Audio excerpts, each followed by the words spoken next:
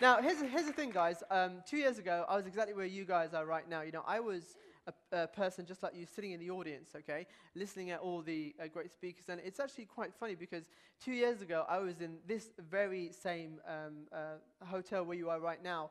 And it was a very, very big event, a couple of hundred people in the room. And, you know, I had that dream as well to think to myself, you know, one day I want to be on the stage speaking. And, uh, you know, fast forward now, um, you know, I've, I've, I've had the opportunity and I've spoken all over the world. So here's the thing, guys.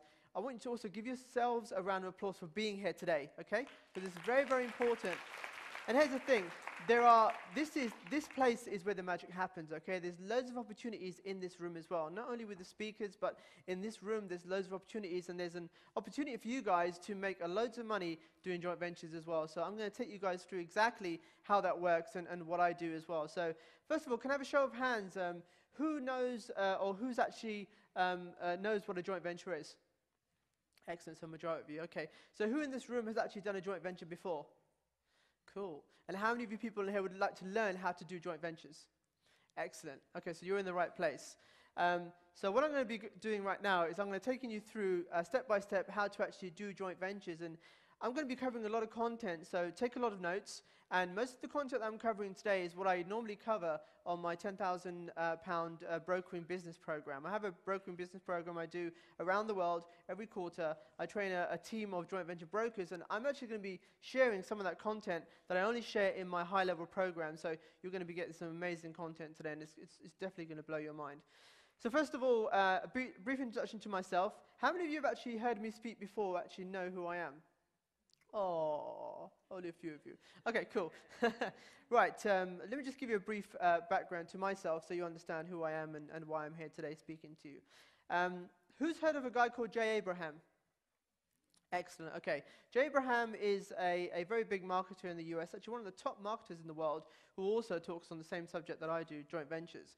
And Mark Goldman, one of his partners, uh, quoted me as a true rags to riches super success story, just like Andrew Carnegie. Um, who's heard of an internet marketer called Jeff Mills? Okay, brilliant. Jeff Mills, another good friend of mine, gave me the name The Master Connector. Uh, who's heard of Jonathan Jay? Guy from the UK, great marketer. I was uh, an expert, JV expert on one of his Success Trap programs. Um, I've achieved over 10 million pounds using joint ventures, and today I'm going to take you step by step through exactly how I've achieved that and how you can replicate that as well. Uh, I'm an international speaker charging £5,000 a keynote, uh, a keynote speech, which is what I originally used to do before I started um, uh, doing platform speaking. Um, I was the first Brit ever to be invited to keynote speak about JVs at the Social Media Summit in the US. I do a lot of my, uh, a lot of my talking and speaking in the US and in the Middle East, and I'm very fortunate enough to have uh, friends like Stephanie who invite me into the UK at some of the big events to speak as well. Uh, I'm an author of an upcoming book called The Joint Venture Millionaire, and I'm the founder of uh, mybrokeringbusiness.com. Okay, so that's enough about me. Uh, let me take you through what I'm going to be covering today. Today I'm going to be covering uh, the real power of joint ventures. This, for me, has been a significant shift in everything that I do and has allowed me uh, to go from being a multimillionaire, um, uh, where, and where I went, went from being a multimillionaire to being broke and coming back again. And I'll show you exactly how I did that and how you guys can actually replicate that step by step in this room.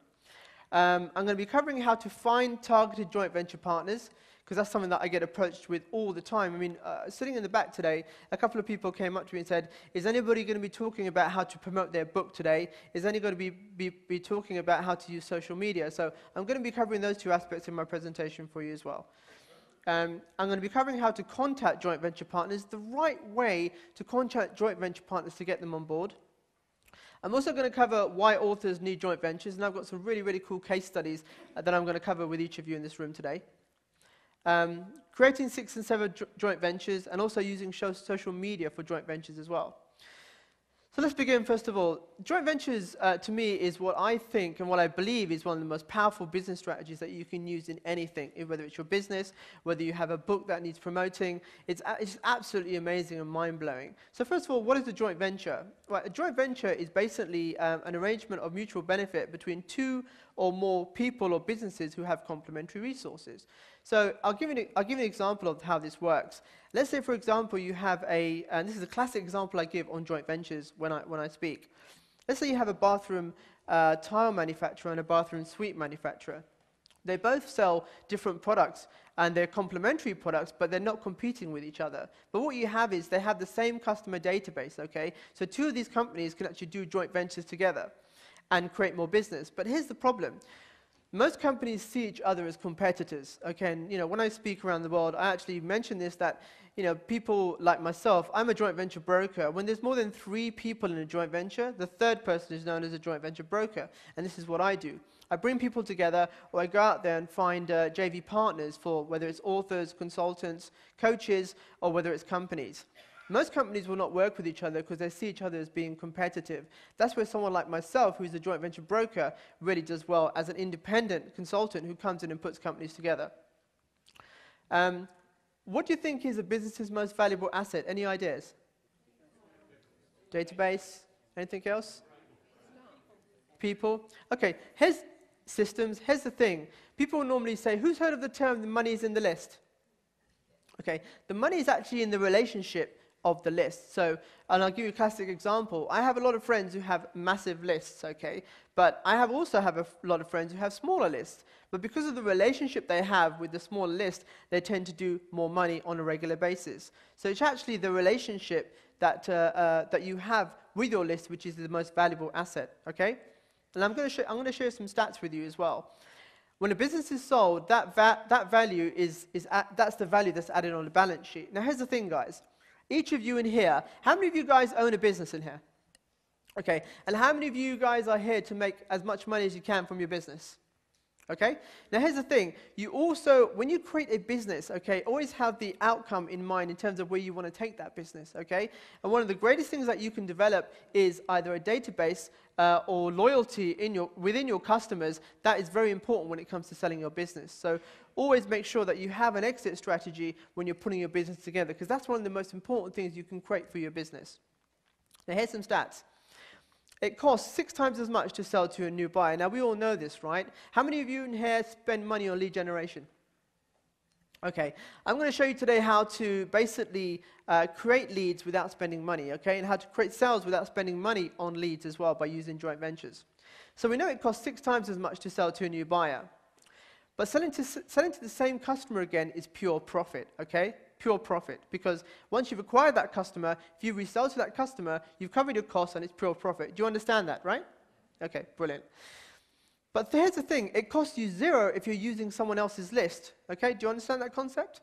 Okay, now that's the power of a joint venture. Okay, because most of the profit is yours and there's no advertising costs. So, you know, joint ventures is actually one of the most powerful marketing strategies that you can do, bar none. I mean, social media is a godsend and it's an it's amazing tool because it's free. But if you combine joint ventures with social media, like I'm going to show you, it's absolutely can create a phenomenal effect.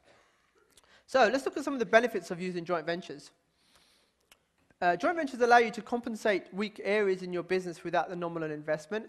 Now, one of the catch-22 uh, problems that most businesses have is that they can't expand because they don't have the workforce, sales team, they don't have money for a call center, for example. But going to another company who has an underutilizing asset that's not being used, like a workforce or a call center, in, in a joint venture is one of the most powerful things that you can do.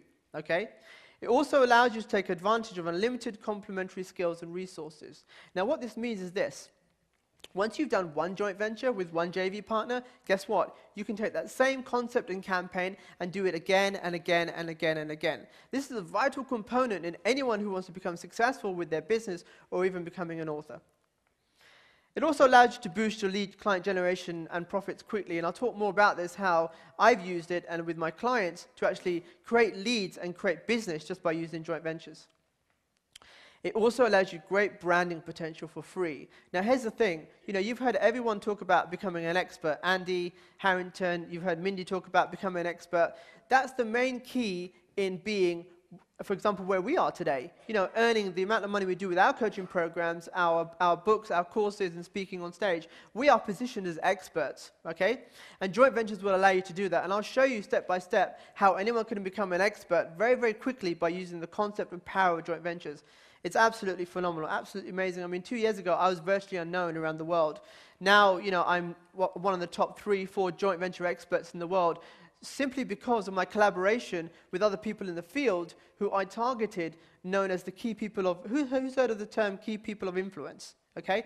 Exactly. And I'll show you how to do that using joint ventures and using social media as well. Also, joint ventures, you know, this is the classic one. It allows you to make money out of thin air, and that is no joke. I'm going to take you step by step and show you exactly how I did that and how you guys can replicate that you know, actually walking out this room tomorrow. Okay, here's the benefits of being a JV broker. Now, this is what I do. I'm a joint venture broker, and here's some of the benefits in terms of what I do, and, and it, it give you more of, an more of an insight into how I run my business and, and what I do. As a JV broker, I make lots of money by simply being a middleman, okay? Uh, I, I, don't need to spend years building my customer list or even creating my own products. I used to run a business that had 25 employees that did over 10 million pounds, and I'll take you through exactly how I built that business using joint ventures, and I'll take you through exactly what I'm doing right now. Totally stress-free, allows me to travel the world, allows me to work from anywhere.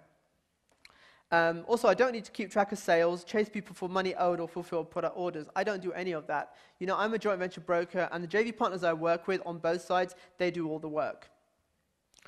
Um, all I do is just step in and leverage the resources around me and make huge profits by just bringing people together. Okay? Okay, so what I want to do with you guys, I, I want to share my, my personal story with you because I think it's very, very important. I want to share my uh, story of um, you know, how I got to become one of the top joint, venture experts in the world and how you guys can actually copy some of the techniques and some of the strategies that I've done. Is that okay with you?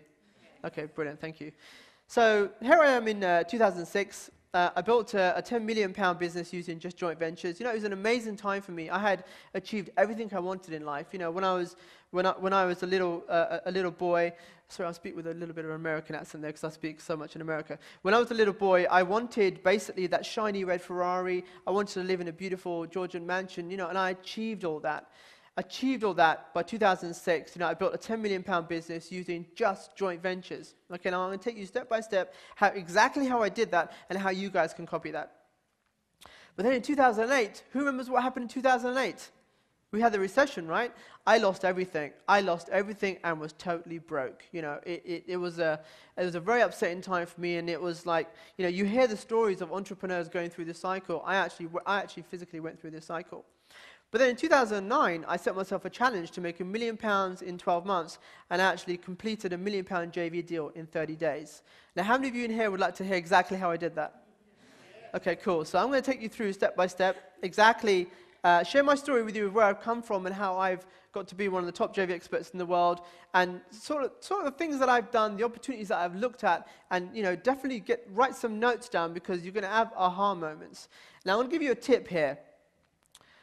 When you're listening to speakers on the stage, and bear in mind, I'm not a professionally trained speaker. I haven't been to Andy Harrington's program at all. I, I, I, I speak more from the heart, and I just love speaking and connecting with people. Okay, that's my passion. Um, but when you see speakers on the stage, don't take notes on the slides. Don't basically take notes in terms of what you see. Take notes in terms of what you feel. Okay, that's the most important thing. It's your aha moments. Because in these presentations, you'll see from the speakers, I mean, they're all phenomenal speakers, and most of them are really, really good friends of mine. And you know, the content that they're going to share is absolutely going to be mind-blowing. So when you make notes, make notes how that specifically is tailored to your outcome that you want. Okay? Don't make notes specifically. Just you know, I know some of you out there who just bring pads and pads with you, and you're you know you're scribbling away. Just that's just a tip because that's what I learned, and it really, really helped me. So, um, where do I begin? Okay, um, I originally trained as an accountant. You know, it was one of the things that, um, you know, coming from my culture, my background, my family wanted me to become either a doctor, accountant, solicitor, lawyer, astronaut. I couldn't get that far. So I opted to go down uh, the route of, you know, training to become an accountant. And here's the thing. When uh, I got a job with the top, one of the top five uh, consultancies in London, I didn't really enjoy it, to be honest with you. I was there for at least six, seven months, and I spent most of my time helping other people, okay? How to use the internet, for example, or, you know, helping them how to use PCs and computers. And then uh, my supervisor turned around and said to me, Sohail, you know, you're really good at using computers and the internet. Have you considered doing something in that field? And I thought about it, and I thought, you know what, I don't really enjoy doing what I'm doing. I, am more uh, going out there and helping, helping people. So I left that job, and I decided to uh, study and do a course in uh, information technology, IT, with business. So while I, while I did that course, I wrote a thesis.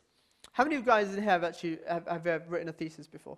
Okay, now you know the deal with theses, right? So I wrote this thesis, and uh, the, um, uh, the title was The Impact of the Internet on the Manufacturing Industry. Now, don't get too bored. I'm not going to get too academic on you. I'm just going to give you a background in terms of how you can create opportunities, okay? And how opportunities, when they come to you, you need, need to be able to see those opportunities and grab them with both hands. So I wrote a thesis uh, because back then, 96, 97, uh, the internet first started, and you know, I, I, did a lot of research on what is this thing called the internet, okay? And um, I wrote this thesis uh, the, on the impact of the internet on the manufacturing industry, because actually back then they were saying that the internet is going to have a big effect on the manufacturing industry, and as we know today, it has done. And little known to me, my professor posted my thesis online. Now here's the thing, if most of you remember, Google launched in 98. Before Google, they had things called bulletin boards. Who remember bulletin boards? Uh, we're already showing our age now, aren't we? Okay. and um, I started getting phone calls from companies, venture capital firms, dot-com companies saying, look, we read your thesis uh, with great interest, and uh, you know, could you come out and talk to us about this thing called the internet? So there I was, straight out of uh, uh, university uh, from my course, having graduated, now consulting with dot-com companies, venture capital firms, and it was amazing. One of my first clients was a company called, who's heard of QVC? Okay, QVC.com was one of my first clients, and uh, it was amazing. 1998, 99, we had clients lined up who were paying us between 25 and 40,000 pounds for internet consulting, which, it, which is basically what it was.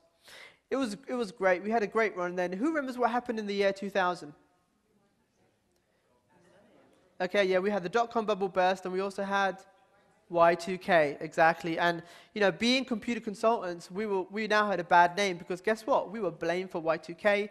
And plus, when the dot-com bubble burst, we lost the majority of our clients, okay? But at that time, this is what happened. When I used to go and see these companies, I created what I would call a showcase. It was a one-page website, which um, I created some computer training courses, PDF files, which people can go to the website, order a course, and download these PDFs in, in a zip folder, okay? Nowadays, you know, people are doing it, one-page websites. We were doing this like, what, 10, 15 years ago. And the great thing with that business is, you know, uh, it, back then it was very easy to get onto Google, and we were making sales every day. Actually, every month we were making about four or 5,000 pounds a month on clockwork. But this, this little uh, computer training website is what I showed to businesses to prove Remember, Andy talks about social proof, okay? Social proof that we, we knew what we were doing when it comes to making money online, okay? And then 2000, the bubble burst. We lost a majority of our clients. So we sat down and we thought, okay, what do we do right now? What do we do now? You know, the whole industry shift. Um, we have to think about what we do moving forward. So we had this little website making us, you know, four or five thousand pounds a month, and we decided to concentrate on that little computer training website and create a business out of it. So early 2000, I came across a phenomenal book, which actually I forgot to bring with me today. I carry it wherever I go. And you might want to write this down. It's called Getting Everything You Can Out of All You've Got. It's a book by Jay Abraham. That book has been a phenomenal shift in the way I do marketing in my life. Uh, getting everything you can out of all you've got. Phenomenal book by Jay Abraham. And while reading that book, uh, Jay spoke about something called joint ventures and strategic alliances. So I read this chapter and I thought, wow, this is quite an amazing concept. And in the book, he talks about how anyone can go out there and literally make money from thin air by using other people's resources and, and, and lists. I thought, you know what, I've got to try this. So I went out there, and remember, right now in this economy where we are right now, I mean, I do a lot of stuff in the US, and the US is, some of the places in the US have been hit harder than us in the UK. And what's happened is because the economy is in a downturn, here's the thing, guys. Don't say in your head, don't say that there's no opportunities out there because the, the, way the economy is. Don't say no one's spending money. They are, okay? But the thing is, you've got to spot the opportunities. There's more opportunities right now in this economy than there will ever be. And what I did basically was I, by seeing this, I approached one of the largest IT recruitment agencies in Europe. Now, here's the thing. In this economy, uh, most big companies will now work with you because they're open to ideas. I mean, look, at, uh, Mindy was talking about one of her clients who approached these banks with a book, and now he's doing deals with them, okay? You can approach big companies because they're now more open to looking at ideas because they all need to survive as well, and they need to grow their business. So I approached the largest IT recruitment agency in Europe with a proposition, and you might want to write this down. This is what I said to them. I said to them, if I can create an additional revenue stream for you without increasing your overhead, would you be interested? Okay, now who wouldn't? Okay, right? Straight away they got back to me and said, you know, we are interested, and I arranged an appointment down in Regent Street, actually not very far from here in London, went to their head office, four people at a desk asking me the same question. Okay, Sohail, so tell us, how are you going to do this? How are you going to create an additional revenue profit stream for us without us increasing our overhead? And I said, look, it's pretty simple. It's called a joint venture. Okay, and I said to them, okay, tell me for, for instance, how many people do you have on your database? They said we have you know, over 150,000 IT professionals. I said, okay. I said, what are you currently doing in terms of marketing to those people? They said, well, we send out a newsletter every two weeks. And then I proceeded to say, do you actually sell anything to them? They said, we don't. You know, we just advertise vacancies. I said, well, right now, there's no one's hiring computer consultants, right, because of Y2K. So I said, I have an opportunity for you, and I can create an additional profit stream. I said, I have these computer training courses that sell really well, and obviously I showed them my conversion rates, I showed them the website, showed them exactly how we're making money. I said, if you endorse my courses to your list of IT professionals, we'll give you a percentage of every sale, and we'll do everything. We'll do all the, uh, you know, the, the, the, affiliate links. We'll do all the tracking. We'll send you, uh, you know, a check in the post every month, and we'll give you stats that you know exactly how many people are coming to the website and ordering these courses. And it was phenomenal. That was my first very joint venture that I did.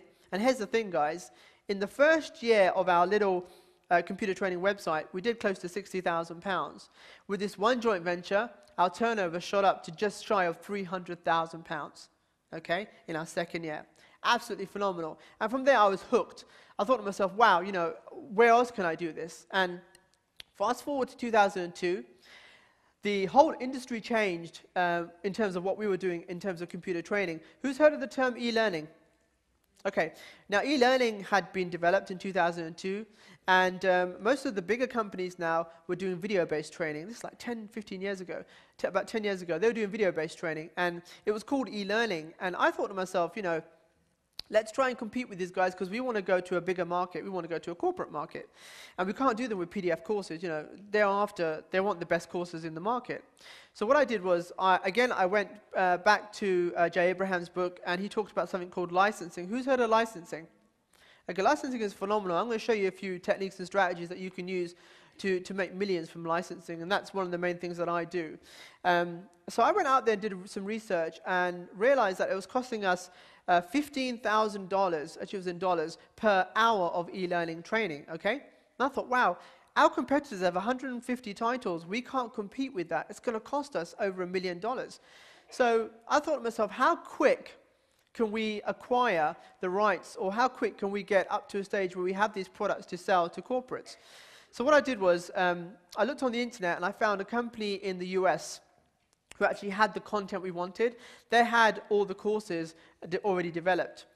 And I contacted them and I said, you know, we're interested in licensing your content, and I'd also like an exclusive license branded, okay, in my name. And the funny thing is, nowadays, what do they call it? Who's heard of private label rights? Okay, yeah, they call it PLR. In the corporate world, we call it um, white labeling. And um, you know, I contacted this company, and they said, "Yeah, sure, Sohail, we can do that for you, but it's going to cost you $100,000 for a license."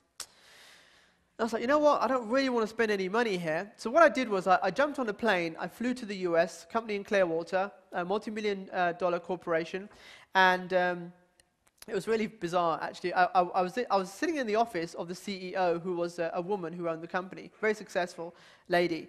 And while sitting in the office, uh, you know, she had a beautiful office, like a walnut desk and a walnut bookcase. I glanced over to the bookcase and I, I, started looking at the books and I was like, wow, she's got some really cool marketing books. Guess what book I saw on the, on the bookshelf? Jay Abraham, okay? So I thought, wow, okay, this is cool because she's going to understand exactly when I start talking about these concepts of joint ventures. So she comes in, I sit down, we start talking about JVs and joint ventures. And I said, look, this is what I'd really like to do with your company, but I don't want to spend $100,000 on a license. But what I'm prepared to do is to show my commitment is place a minimum order of $10,000 a month, and I, guarantee I'll make you more than $100,000, okay, within the next couple of weeks. So um, I, I bagged the deal, we, we shook hands. I committed $10,000 okay, to her up front, and now we were in a position where we had over 160 titles, and uh, we had it white labeled as our own brand, and now we were operating in the corporate market. So from there we went, we shot up to a seven-figure business. We were doing over a million pound turnover, and guess how much it cost me? $10,000, okay? All right, so that's the power of licensing. But get this, here's the amazing thing. In the US, she was selling her training programs for $3,997. Guess how much we were selling it for in the UK? No? Yeah, 3,997 pounds. But here's the, here's, here's the real interesting thing. We were buying it from her at 75% below dollar retail. Okay, so we were buying it at 75% off the $3,997 and selling it for 3,997 pounds. Our margins were close to 92, 95%. We were making pure profit. It's absolutely amazing what you can do by doing joint ventures and licensing. So that was amazing for us, and that put us up onto a seven figure business, and now we were dealing with bigger companies, and we had an established brand. Now, fast forward to 2006. And here's the thing, guys when you're out and about, when you're reading things, when you understand joint ventures, your brain just fixes in another level altogether. You start seeing opportunities, okay? And in 2006, I was reading uh, the Financial Times. They, they had something called the Sunday Times Fast Track 100. Who's heard of that? Okay, showcases the 100 fastest growing companies in a sector, and obviously ours was information technology. And while reading that magazine, I came across a company, a 100 million uh, uh, pound uh, company, uh, uh, IT group, that had over 500,000 customers on their list. Guess what I thought? Joint venture, right? So I approached this company with the same thing. You know, I said the same thing. You know, if I can create an additional profit revenue stream for you without increasing your overheads, would you be interested? Man, who wouldn't? Okay. And they got back to me. I got invited to their offices. Beautiful glass building. This is a 100 million IT group. Beautiful glass building. Uh, you know, uh, Jags, BMWs, Mercedes outside. And I went up to their offices, and they've got a beautiful, like, panoramic uh, boardroom. And I walk into this room, and you've got the chairman and the CEO. The chairman is uh, the CEO's father, his father and son team. And I, am sitting there, okay, and uh, I begin my pitch. I start talking about the joint ventures that I've done, and I start talking about the deal that I want to do with them. 15 minutes into my pitch, I get stopped. The chairman gets up and says, Sohail, we're not really interested in doing a joint venture with you. And I was like, what? You know, I came all the way here, I'm sitting here, and I was like, you know what? I, I got my foot in the door. That was good enough, right? So I begin to get up, and then the CEO sits me down and says, Sohail, we're not interested in doing a joint venture with you. We're interested in buying your business. Okay? Exactly. So they were a big 100 million IT group. They had money in their balance sheet. They were looking at um, making more acquisitions. And you know, I sat there and uh, because I had two, well, because I already had two partners in the business by then, I couldn't make a decision there and then. So I went back, spoke to my business partners, and they basically wanted to acquire us because we had business customers, they had consumers. So they wanted to amalgamate us into their company as a business division. So I sat with my partners, and what we decided to do was this: we decided to do a part cash, part equity. They gave us cash, and we had equity in a 100 million IT group. So 2006. Um, I was now sitting on the, the board of a 100 million IT group. I had shares in excess of 10 million, and it was an amazing time for all of us. We all became multi-millionaires, and it was absolutely phenomenal. I had an exit plan. Okay, I was going to be there for a year, and after a year, I would cash out and just sit by, sit on some beach for a couple of years, I guess, and just figure out what my next move was. And uh, here's the interesting thing. You know, I was uh, managing director of the business, and um, within uh, 12 months, I doubled the business. And how did I do that? Now, I basically I stepped down as MD, and instead of working in the business, I was working on the business. Okay, another another really important tip, and it was phenomenal. Uh, 2007 came, and uh, end of 2007 was my exit. I was like, you know, I'm I've done what I've done here. I've built the business. Uh, I've I've cashed out. I've got my shares. I'm going to cash out. But unfortunately, 2008, the company that had been around for 25 years went bust. Who remembers Woolworths? Been around for what, 25, 26 years? And all of a sudden, what wiped out? So it was phenomenal. You know, we, we got called in the next day. We were told the company was going into liquidation, and it was absolutely phenomenal. And here's the thing Anyone here, be very wary of signing guarantees with banks, okay? Because as directors of the new division, that's what we did.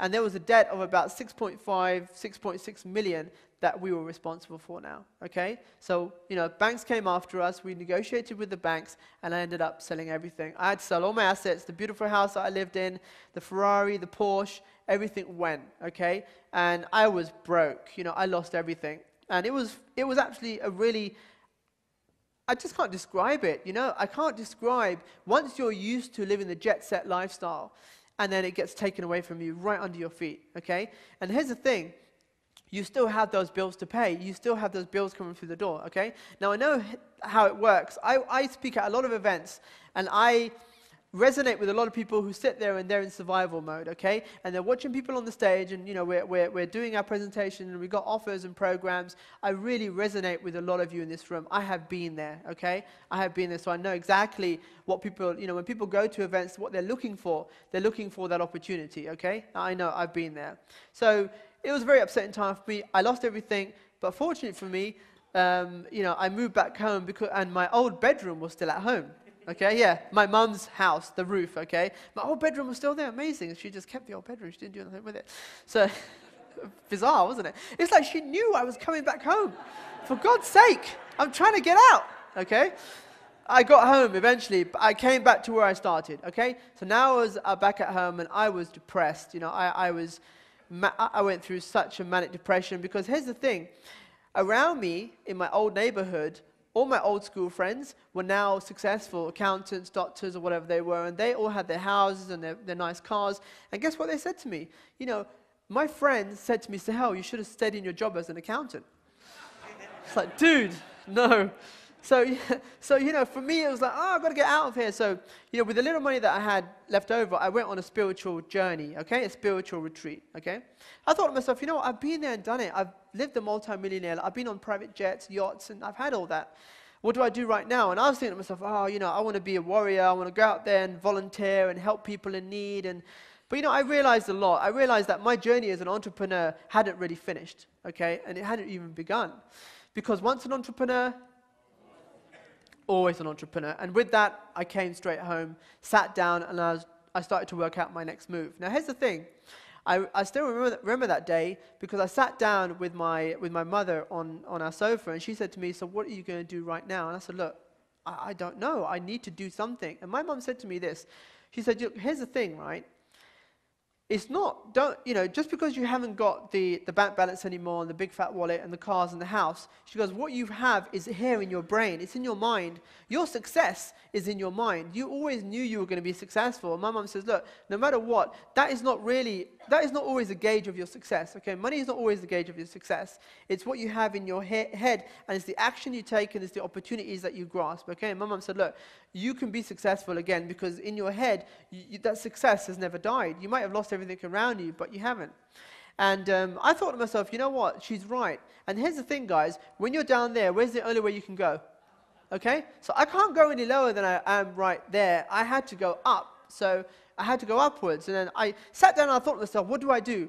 You know, I need to really start making some money. You know, I need to go back into being successful and wealthy. And I did the same thing that everyone does. I came to events you know, uh, events where people were selling programs on the stage. And, you know, one guy was selling how to become a millionaire in 12 months. One guy was selling how to become a millionaire in 12 days. One was selling how to become a millionaire in 12 minutes. One said how to become a millionaire in 12 seconds. And I was like, 12 seconds of gone, I'm even broke, more broke than I was before. I thought, you know what, scrap this. You know, I've got to sit down and I've got to focus and I've got to think about what is, what, what is it that I'm good at, okay? What are my core skills? Everyone in this room is unique, right? Don't let, me, don't let everyone tell you that I'm more successful than you because I have money and because of what I do. Everyone in this room, we're all unique. You have skills that I don't have, okay? I have skills that you don't have, okay? You just need to find out what those skills are, okay? That's the most important thing. I sat down and thought to myself, okay, look, what am I good at? What have I done that's worked? And what can I do again? I was like, the joint ventures, right? I did it before. I made money out of thin air, and I can do it again. So I decided and I set myself a challenge. I said, you know what, I'm going to do a couple of big joint ventures and I'm going to make a million pounds in 12 months. That's the goal I set myself. But you know what? I did it in 30 days. And now I'm going to take you through step by step how I did it. And you're going to laugh because it is so simple the way I did it. So here's what happened. Again, opportunities are everywhere. I was reading the mail on Sunday. Okay, let me just take the. I was reading the mail on Sunday and I came across an advert for this book. Okay, and this book, you probably see it. It's probably they, they advertise it now and again, a full page spread in the Mail on Sunday. It's How to Master Your Computer in Just Two Hours. But it wasn't the book that was interesting, okay? At the bottom of the uh, newspaper, it said uh, over 400,000 copies sold. So guess what I thought? Joint venture, right? I thought, you know, they sold 400,000 copies of this book. There must be an opportunity for me to do something or do a JV with them, right? So I contacted them, and this is what I did. I contacted them and I said, you know, you've got this book, right? You sold 400,000 copies of it. Do you have a video version of the book? They said, no. I said, okay, look, I've got a video version of this book. Would you be interested in selling that to your existing customers? Guess what they said? Yes, okay? So here's the thing, guys. First of all, I'd never had the product.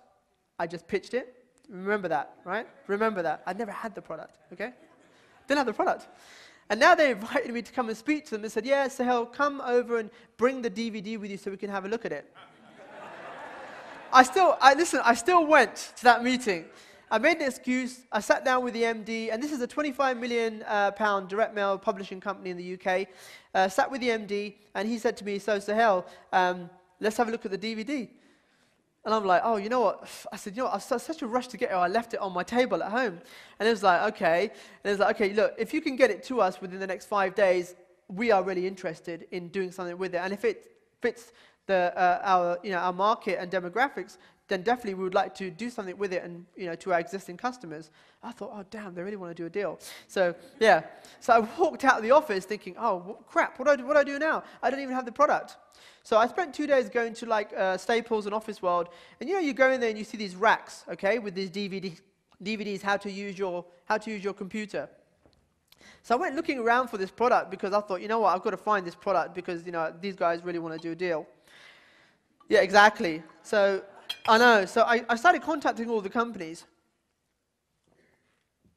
who sold these DVDs, and I said, look, I have a client, and I think we can shift a couple of thousand units of your product. Would you be interested in doing a deal where, um, you know, we, are flexible on pricing and we can rebrand the product? And they said, look, yeah, sure, Sohail. The best we can do is give you 30% as a, re, as a reseller. And I was like, I'm not, ask, I'm not after a, a 30% reseller. We've got to be more flexible than that. So after two days, I thought, you know what, forget this. I'm wasting my time trying to explain to him how this deal works. So I went onto a website, you might want to write this down, called www.elance.com. Who's heard of Elance? Okay, brilliant website, E-L-A-N-C-E.com. Brilliant website where you can go onto and, uh, you know, there's a lot of freelance people on there who will do projects and do work for you, and they just, they just bid for it. So I put up this project on Elance. I said, look, I've got a book that needs to be created into a video course, and this is what it is, and, you know, uh, people started bidding on it. I ended up paying $500 for a, who knows what Camtasia is? Write that down as well. C-A-M-T-A-S-I-A. You can use that to create uh, products from, from your book if you want. It's, it's an amazing tool. They created a, uh, a DVD training course based on the contents of the book. I paid for, oh, Camtasia, C-A-M-T-A-S-I-A dot com. C-A-M-T-A-S-I-A. Just type Camtasia into Google. Google will tell you. Sorry? Uh, no, what I'll do, I think I've got it on the next slide, but um, yeah, I'll do that for you. Okay. So I got this uh, DVD produced, outsourced, $500, took it back to the company. They loved it. The managing director's sitting there thinking, wow, this is awesome. It's just like the book. And I'm like, well, you know, my team have been up for like a couple of days, you know, putting this thing together, right? right? Got to look good, yeah? To look good, yeah?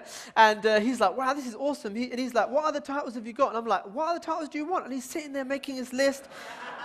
I'm like, look, ho, ho, ho. I'm like, dude, hold up. Look, let, us get this one out the door first. If it works, then, you know, we'll look at other ones. So we sat there and we, then we started working out, you know, uh, uh, looking at stats. They're a direct mail company, publishing company, so they, they know their stats. And I said, okay, out of the 400,000 uh, current customers you have, how many of them do you think will, will, will, can we upsell to the DVD course? And they said, he said, well, I reckon about 50% of them will buy. So put that in your head, yeah, 200,000 customers, okay?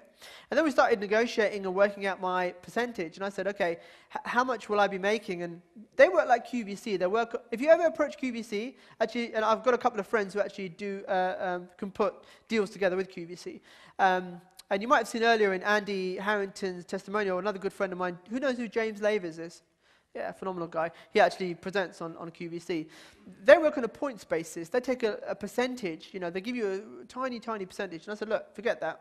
How, how much do you want to sell the DVD for? And he's like, well, we probably pitch it at 19.95. I said, here's the thing.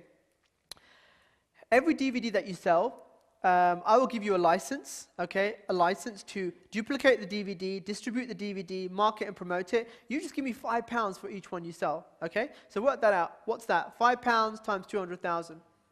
A million, okay? So we went back and uh, we shook on the deal and I sat down with him, and we start, he started drawing up this agreement.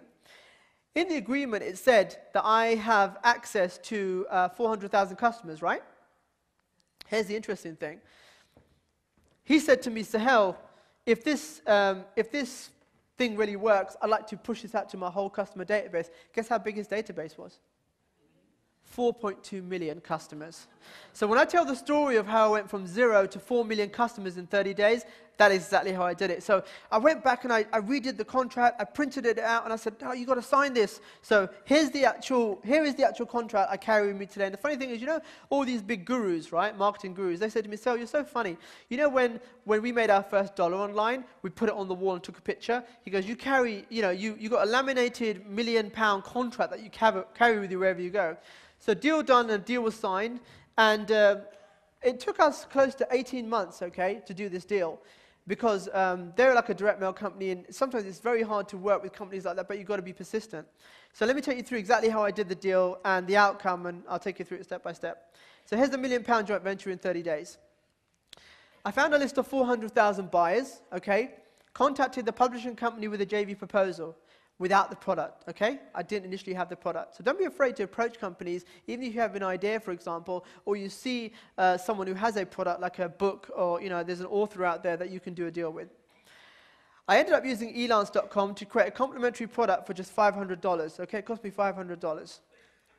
I introduced and licensed the product to the list owner, making £5 per unit sold without handling anything. It was hands-free. I didn't do anything uh, with a total of, we just did over 201,462 units, and I collected just over a million pounds as my JV commission, okay? So that's one million pound joint venture. People always say to me, say, oh, you always talk about, you know, this million pound JV, that's, you know, that's your biggest claim to fame. But here, here's the thing, it isn't. I'm going to take you through some other ones that I've been doing over the last two years.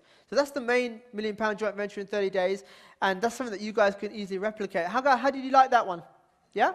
Okay? So that's something you guys can easily replicate. Keep your eyes open for opportunities like that. And this is what I train all my joint venture brokers to do. Okay? And I even hand them some of my own deals to work on. So here's the next million pound joint venture, possibly. Okay? Big question mark there. Here's another book um, that I was approached by someone. He's uh, a best-selling author on Amazon, and it's basically all it is. It is is who knows what scrapbooking is? Here's the thing, right? Scrapbooking is massive in America. I mean, this is a book called 101 Scrapbooking uh, Tips, okay? It's, it's a great book. But in America, I did some research and I found out that it is actually a $2 billion market. Absolutely phenomenal. It's so big in America. And here's what we did. We took the book and we created a back-end video membership site. So any, everyone who buys the book now has access to a membership site with all the tips as videos. Okay, and here's some of the estimates on what we hope to be doing with this campaign. We should exceed at least 400,000 units easily. I reckon we'll do about half a million because this is a $2 billion uh, market. Um, uh, we're, we're, making £2 on each book, and then we have a back-end membership, membership site that we're making £2 on as well. And even at, even at what, 2%, we'll be doing probably 80,000 members. So this JV deal should make us at least 960, 960K, close to a million pounds. Okay, so this is the things that you can do. And here's the thing. Most authors don't make money, okay? Only the top authors make money. How do they make money? From their back-end programs, okay? Coaching, consulting, okay? That's where the secret is. Your book is your calling card, okay? That's the secret. Most authors do not make their money from their books. They make their money on the back end, okay? And this is what we do as joint venture brokers. We help them connect that back end and we take a huge percentage. Okay, so here's the thing. Who knows, who's heard of Tim Ferriss? Okay, four-hour work week. Who's, who's read the book? Awesome book. Now, did you know, who, who knows how he promoted that book? Okay, he promoted it through joint ventures. But what he did was he approached some of the largest blog sites on the internet to review and promote his book. So it's absolutely phenomenal that the route he took was via joint ventures. Okay? So the four hour work week became a number one bestseller just through joint ventures. Okay, I bet most of you didn't know that, right? So this is what he did. He approached these uh, blog sites because they have such traffic and such following, he used them to do a JV, okay? And that's how he became uh, a number one uh, world bestseller. Um, see, all successful authors need joint ventures, okay? Here's another, who's heard of a book called Work the System? Okay, right. Here's the thing. Work the System is an expanded version of the four-hour work week, and it's, it's, it's an American book. And I was approached recently by the author, Sam Carpenter. So he approached me, um, uh, he's the author of the book who approached me. It's a phenomenal book. I've read it. He works with corporations.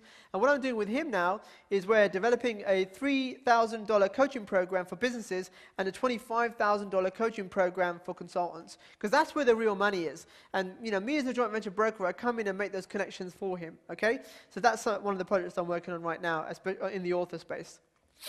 Here's another thing. Who remembers, um, who watched Andy Harrington's presentation? Great guy, right? Now, in his testimonial, who saw the testimonial from Chris Farrell? Who knows who Chris Farrell is? And in Andy Harrington's, uh, in his presentation, how much do you say Chris Farrell made from that deal? Okay, guess who was the guy behind that deal? Exactly. So here I'm going to tell you exactly how I did this. Here's Chris Farrell. I've spoken with him at a few events. I met him um, when we were in London. He approaches me and says, "Hey, look, I really want to do this big launch I want to create this product. Can you help me do that? And uh, I'm looking for someone to connect with. And specifically, who sort of guy, heard of a guy called Mike Filsaime? Okay, he wanted to be connected with Mike Filsaime. Mike Filsaime is a very, very good friend of mine. So I put these two guys together. They launched affiliate.com, and we did just over $4 million with that launch, that product. Okay, so that's a pretty, pretty cool story. So, um, and there you go. Chris Farrell made uh, a million pounds with that deal.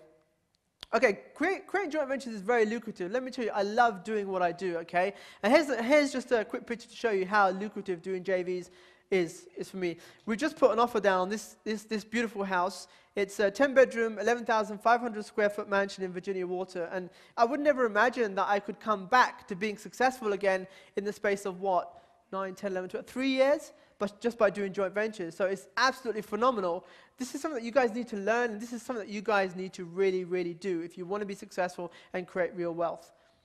Okay, so let's look at, um, first of all, the joint venture mindset. To be successful at doing joint ventures, you need to have something called the joint venture mindset, okay? And basically, without the right success mindset, you're destined to fail. Now, who uses visualization in here? Or who's used it? Okay, powerful tool. I use that all the time. Who use, who's used affirmations at all in here? Okay, excellent. So what I want to do right now is um, I want to show you how to attract the energy of opportunity and success by using affirmations, right? So I want everyone to stand up. Just a great thing as speakers. We, we, we have such control over the audience. Okay? So I want you to repeat after me. I've got two affirmations. This is strong affirmations. And, you know, use this regularly, you know, in your life to become successful and your business. So repeat after me. I am the the right person. In the right place, at the right time doing the right things, with, the right people. Okay, and another one, I am aware of, and, open to, unlimited, joint venture opportunities. I am involved in, the best, high level, joint venture opportunities. Thank you very much. Okay, brilliant. So, you know, use affirmations in your life because it's, uh, it's really powerful and it's really, str- and it works. You know, I'm a big believer in the law of attraction. And, you know, everyone always asks me, how do you manage to do some really cool things? How do you manage to take yourself beyond the next level? And, guys, in your life, it's all about taking the next step. Push yourself, okay? Push yourself to any every boundary that you can, and that's how you become successful. And you know, once you once you're on the treadmill of success, just keep running, okay? That's the easy thing about. Well, it's not easy. I wouldn't say it's easy, but becoming successful, that's what you need to do. And, you know, always see yourself as someone adding value to others, okay? That's the biggest thing that I've learned about being successful and creating success in such a sh- short space of time. Creating value, okay? And giving as much as I can to other people, okay? So let's, uh, let's do some uh, training now. I'm going to cover some training that I do in my uh, uh $10,000 brokering program. And this is going to be some really, really cool. I'm, gonna, I'm, gonna, I'm actually going to share some really cool things that I don't really share outside of a, a room with my brokers. So, first of all, um, uh, places where you can find potential joint venture partners, okay? First of all, uh, an existing mailing list, customer list, or newsletter. Now, this is, uh, for me, the quickest and the best way to find potential joint venture partners. Why? Because um, they have customers that have already done business with them. So you're not dealing with prospects. You know when you approach someone and you say, okay, can you uh, promote my book or promote my course or my program? How many people do you have on your list? Oh, I've got 50,000 people. Wow, big list. Hang on a minute, how many buyers do you have on there? Oh, 25. Yeah? Okay, so it's not about prospects, it's about buyers. That's the most important thing. And that's what you need to clarify when you're asking those questions.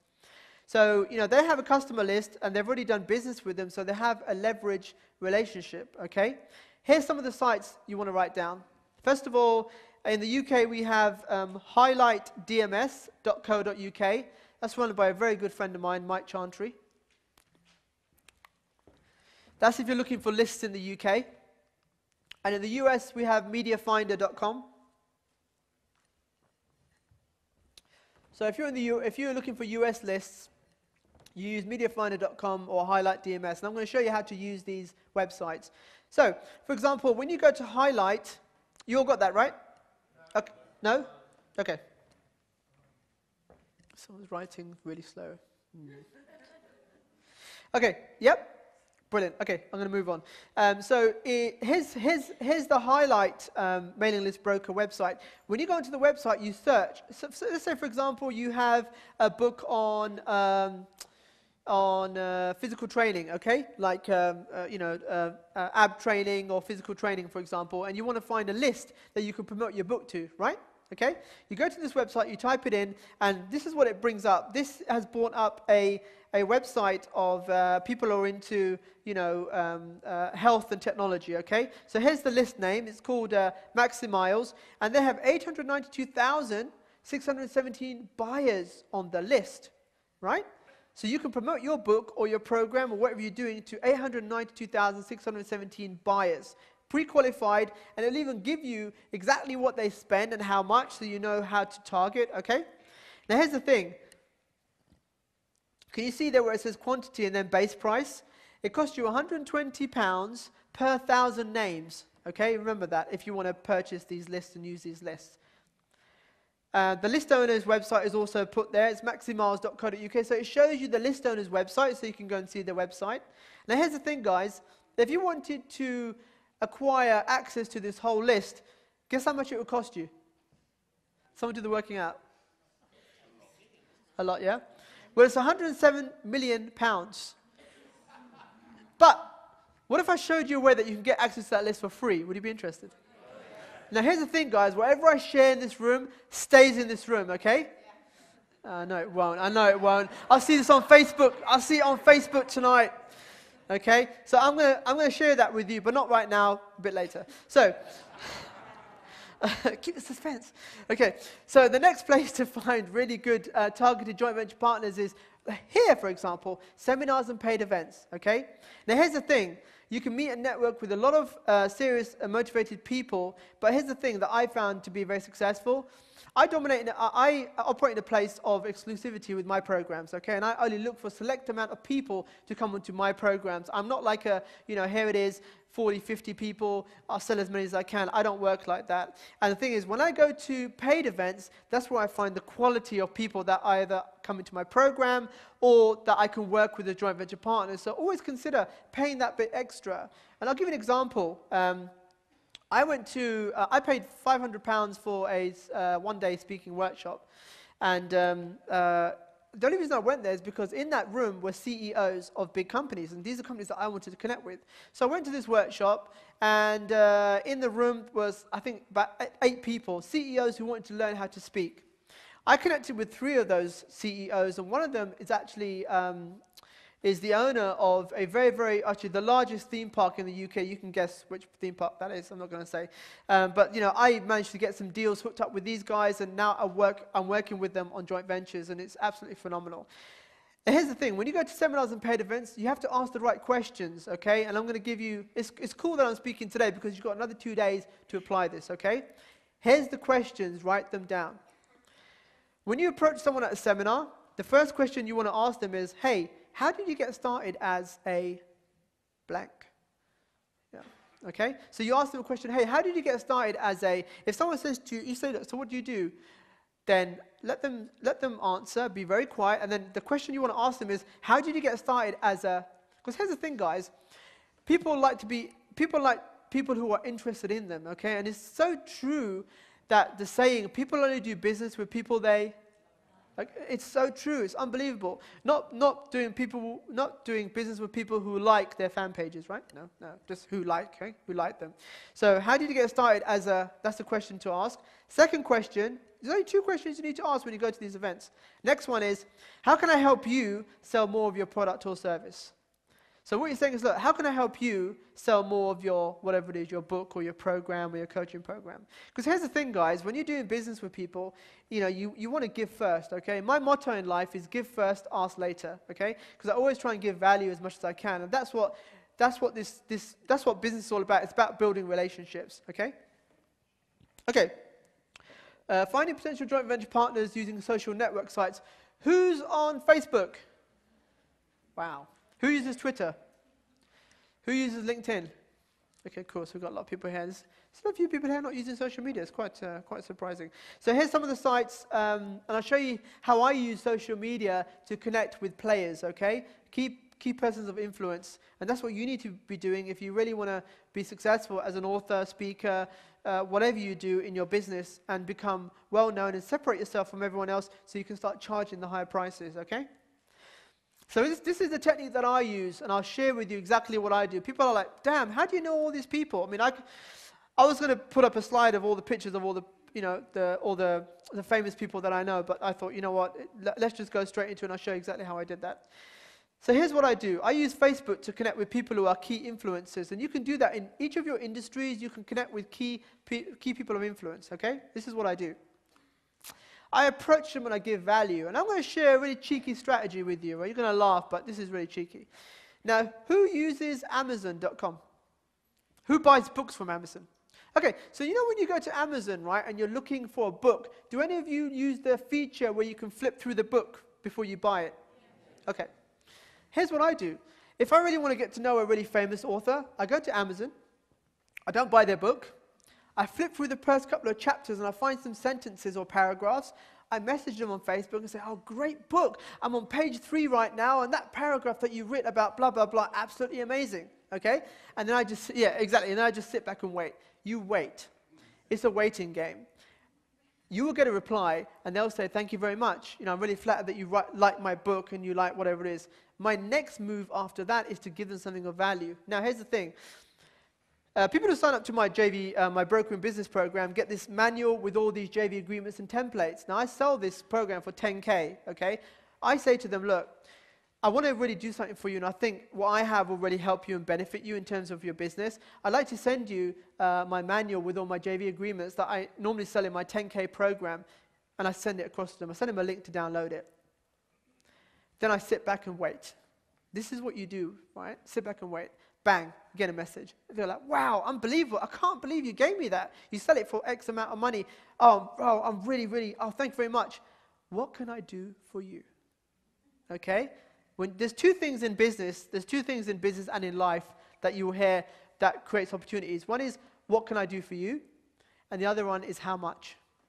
Okay? All right? Those are the two biggest things that you can use, not use, but they'll create opportunities for you. So this is a technique that I use on Facebook to get to know all the big guys. Even if I'm not friends with someone, I will click them as a friend, but at the same time, I'll send a message as well. Okay? Right? So if, I might not be on their friends list, but I can still communicate with them. Right? And then what I do is this, guys. Once I've done that, I take them over to Skype. If they say, What can I do for you? I don't ask them for anything specific. I say, well, I'd just like to have a conversation with you on Skype, if possible. 15 minutes of your time just to have a quick chat with you. Is that okay? They're not going to say no. Bring them over to Skype, and that's where all my main contacts sit.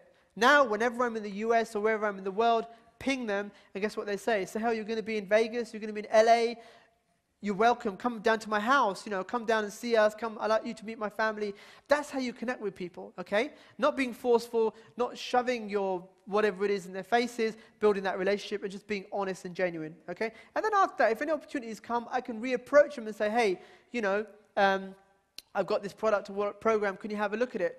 Now, what happens is it doesn't become a JV proposal, it just becomes a request, okay? So that's a simple way of really doing high level joint ventures.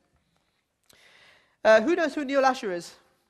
Okay, Neil Asher is a very successful um, uh, multi-millionaire, and you know he was one of the guys that I wanted to connect with as well. And I did the same thing with him. I sent him the manual, we connected, and you know here's his um, uh, his uh, um, post on Facebook. He says, you know, uh, thanks for your incredible generosity, Sohail. You're an inspiring man. Okay, the generosity was I sent him something of great value, and he valued it and thought, you know what? No one does that. No one gives gives before they start asking. That's a technique that you guys can use if you want to connect with anyone in the industry. Here's the thing: it's not impossible to connect with anyone. You know, who's heard of the, the phrase six degrees of separation?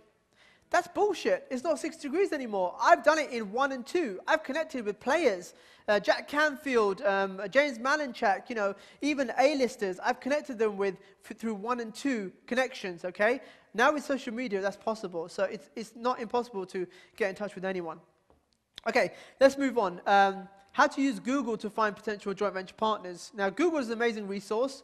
Two of the sites we have, uh, one is google.co.uk and the other one is google.com. I'm going to show you exactly what you need to do to narrow down your searches on Google for jo joint venture partners. Now, step one, um, first of all, here, here's what you do. Write a list of keywords that closely match your targeted market, okay? And then take each keyword and do the following search to find suitable JV partners. So if you're in the personal development space, put the plus sign in newsletter, and that'll give you a listing of all the personal development newsletters. Okay? Do the same thing with the forum, plus forum, that'll give you a list of all the forums. Uh, personal development plus blog, do that in the search box, and that'll bring you a list of all the key JV partners that you can contact. Step two, uh, what you do now is you, ha you have a list of results on the page, okay? Uh, on the left-hand, uh, right-hand side, and the left-hand side you had the PPC. Who knows what PPC is? Google AdWords, basically, okay? They're good people to contact as well because they're spending money on advertising, okay? So they're more prone to doing JVs with. So you need to put them into, uh, you need to rank them in relevance and use this tool. Now remember earlier on I said to you, when you go to highlight DMS and you, and you want access to the 900,000 list, how to get it for free, here's how you get it for free all the profiles have their website, okay? Like had, they had maximiles.co.uk. Use this tool here, whois.domaintools.com. If you use that tool, it'll tell you who owns the website and who is their contact. Because if you go to the website, most websites will not tell you who the main person to contact is. Whois Domain Tools will tell you who owns the site and who is their administrative contact. You contact that person and you say, look, I know you have this website. I know you have 892,000 buyers on your list. I know what products you have. I know you have a list of buyers. I know they're targeted. Guess what? I have a product. I have a program. I have a coaching program. Would you be interested in doing a JV? Okay? So that's how you get access to those lists for free. You don't need to pay for those lists at all. Because these people, I'll tell you, I've done deals with these people. They are, they are, they understand joint ventures, and they will do joint ventures with you because they have a list that, needs, that they need to make money from, okay? So they understand the concept. So that's the way you get access to those lists for free. Uh, use this tool because the tool will tell you things like that. Who's heard of Alexa? Alexa.com. It tells you, it gives you the ranking for the websites and demographics. And it'll tell you whether they're blacklisted, how long they've been around, their visitor and contact details. Okay, so this is a phenomenal tool. Um, whois.domaintools.com. You want to write that down. Right, now you've got uh, the list of, um, uh, you know, the, uh, predom the predominant list and the contact details. You now sh you should have a list of potential JV partners ready to contact. You want to put them all on a checklist and rate them A, B, or C. A is the ideal partners with large lists or traffic. B is second group of potential JV partners. And C, let someone else contact them because you want to concentrate on the first A and B pile. Okay, so how do you contact them? This is how you contact them. You can use email online. This is the most classic way to contact the most easiest way. Email is practical, easy, and cheap, and it's a great way to communicate with potential joint venture partners. But here's the problem. You know, most business owners receive a lot of email, and you, you get a lot of junk, junk that goes to them. So your email, your proposal might get lost in their junk mail filters. So it should not be your only mode of contact. If you want to know the best way to get hold of anyone and uh, do business with joint venture partners, it's this FedEx or special delivery. And I'll tell you exactly how I've used this to get hold of some really well known people in, in business. So this is the, I, I think personally this is the best way to contact potential partners. It's professional. It really gets used because everyone's trying to do email and social media, but everyone's uh, you know um, uh, forgetting about direct mail. I remember Andy spoke about this earlier on. It's a gold mine. It's a gold mine. So, and the thing is, you get past the first barrier because it always gets opened, right? Uh, it gets past the gatekeeper, and as long as it's addressed to the decision maker and marked as urgent, please hand deliver. Now, I'll tell you something that I used to do. Um, I used to go into, uh, you know, bookstores like W.H. Smith, and you know they've got the top 10 business books, right? Yeah? I used to take a business book from the top 10 shelf and write an inscription in there. And I used to send the books out to CEOs of companies. And I say something like, you know, I, I, I, I either pointing at a recent article or something that they've done in their business that is really good and commending them on it and saying that, you know what, I, I hope your, your success continues and put my name and my number at the bottom. Now, out of, let's say, for example, 10 books I sent out, I used to get seven phone calls, uh, three, four from CEOs and the rest from their PAs. That's how I got in touch with them. And they used to ask me, thanks for the book, tell me a bit more about yourself. Okay? And again, you know, use those questions that I told you earlier. That's how you connect with people. It's a great way to connect with people. I mean, I've heard people send sushi by FedEx, but how does that work? I don't know. I never tried that one. I thought I'd leave that. I don't think it's going to work for me. Um, okay, so um, here's, here's how to use the phone to contact JV partners, okay? Only ever use the phone after you've sent a proposal out. Don't try and pitch on the phone. It doesn't work. So many people are selling and uh, you know um, pitching on the phone that you know you, you, your, the phone will just get slammed down straight away. So only ever send, uh, only ever phone someone after you've sent a proposal out just to confirm they've got the proposal or if they want, if they want more questions answered. And only ever use the, the phone to follow up or get an appointment. Never pitch on the phone. Okay, let me tell you that. Don't use the phone for pitching unless you know the person very well. So here's my view on agreements and joint venture contracts. Um, NDAs, only ever use a non-disclosure. Who's used NDAs before? Okay, cool. Who's a big fan of NDAs? Who's not a big fan of NDAs? Okay, interesting.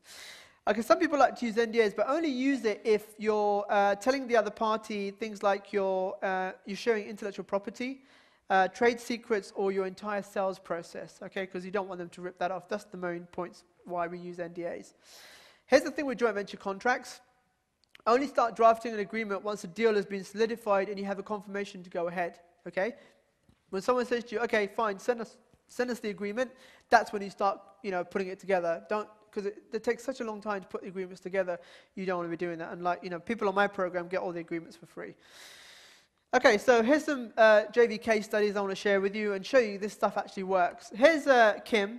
Uh, Kim met me on Mike Filsaime's Marketers Cruise. He has this cruise every year that he does for internet marketers. And uh, I, I, went on his cruise probably about two years ago. And then I went on a previous cruise last year uh, where we had people like, who's that, Michael Gerber, the E-Myth, and J. Conrad Levinson? Yeah, okay, so you get to meet some really, really influential people. So she met me and she, um, we had a brief conversation over dinner about what I do. So here's the thing, when I go to these events, right, I don't, uh, I don't tell people that I'm a JV broker and here's my, here's my, here's my upfront retainer, what I, I charge $10,000 upfront and I take a percentage. I went to these events to help people. So when I was at this event, I was running around just trying to match people together, okay? And that way people, you know, get to know me and they think, wow, this guy's really good. He's like the JV guy. This is what they call me. So she told me, what are you doing? You know, over dinner I see you running around like a headless chicken. What are you doing? And I said, I'm just trying to put people together. That's what I do. So she said, look, she contacted me two weeks after the cruise and says, Look, I, I need to raise money for medical school. I'm doing two and three jobs and I'm getting sick and tired. I want to do what you do. I want to make money out of thin air. Okay? So, okay, all right. So uh, we, had a, we had a strategy session. This is what I do with a lot of people on my program. You know, we have strategy sessions first. I try and identify what is right for you, okay, and what is not right for you. That's how I work. I, I won't just take your money. I have to be sure 100% that, you know, you're the right person for whatever it is that I do, or, you know, even if I recommend you to someone else, that it's the right thing for you. So we had a strategy session. I said, okay, look, you've got the skills um, you know, uh, see, women really do well at this sort of thing, okay? It's not nothing to do with using your femininity, but they're, they're just better at building relationships. So I said, no, it'd be, it'd be interesting. So I rolled onto my JV coaching program. I also connected her with a few of my contacts, and here's what she did.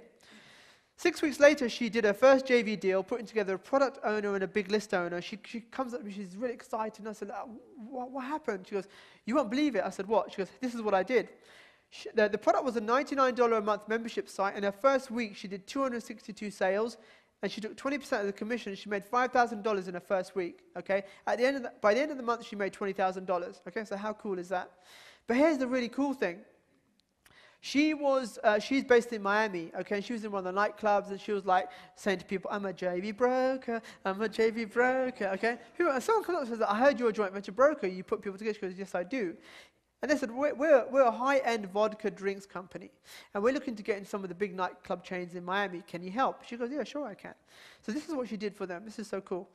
She JV'd his drinks into the top nightclub chains in Miami, and uh, she made $35 a case. With a, we had a minimum order commitment on each deal of 2,000 orders, and with that first deal, she made $70,000. But here's the thing, right? She comes up to me and says, Sohail, um, what's the, she says to me, you know, what's the point of becoming a doctor? I might as well just be a JV broker. And I'm like, oh, no, no, no, no. Stay in school. I don't know what your mum and dad chased me down the road with a stick saying, my daughter was going to be a doctor. Now she's a JV broker. And I said, no, no, no. Stay in school. Stay in school and just do this whenever you need to create extra income, okay?